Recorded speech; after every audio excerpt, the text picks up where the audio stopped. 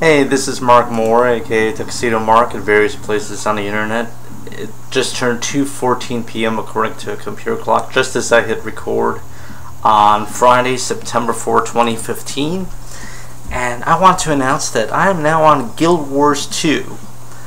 Yeah, um, I started downloading it three days ago on September 1st. Um, just a few days after it became free to play, which I think was August 29th. I'm not sure at the moment. Um,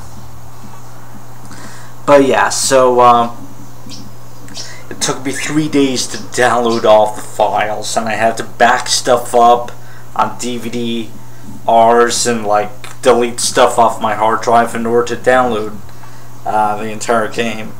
Um, now I'm glad that I didn't actually buy the game uh, either on Amazon or in Walmart back when Walmart carried it.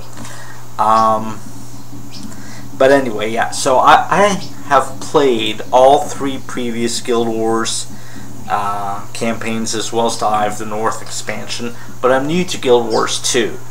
Um, but I've linked my Guild Wars and Guild Wars 2 accounts, so anyway, uh, I decided last night when I started playing to create a character, and it's like I was trying to come up with some kind of vaguely fantasy sounding names, and the first three that I tried were already taken. Like, seriously?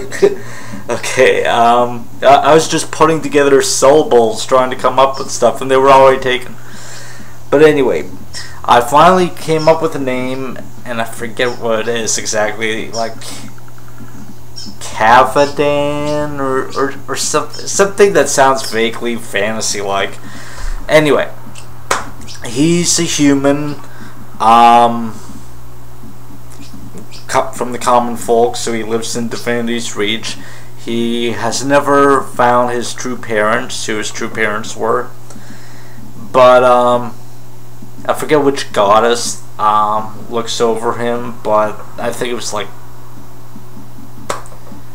the last one, like number six in the choices or whatever. I, I forget what her name is, but um, anyway. So last night I started playing. I had no idea what I was doing. There was some big battle and near a garrison or whatever, and okay, I guess they defeated it, and I got points for it. Um, even though I apparently I tried to sync the uh, clock to my to like my time, when I logged in this morning, it was nighttime in the game world. But uh, anyway, um, I I killed some bats in the cemetery in my latest play uh, play session a few minutes ago. Um, I'm like halfway leveled up through. I think I'm already on level two. I, I forget, but um. Anyway, I, I've collected some stuff and now I'm just trying to find like some quests. I mean, in the first, in the original Guild Wars, it was easy. There was this green thing above people's heads, like a light or whatever, and uh, you could get quests from them. Um, or they were somehow part of a quest or whatever. Right now, I've been wandering around and I can't really find anyone. I oh I found someone named the Woman in White in the cemetery and I defeated her, so that was a pretty big boost. But um,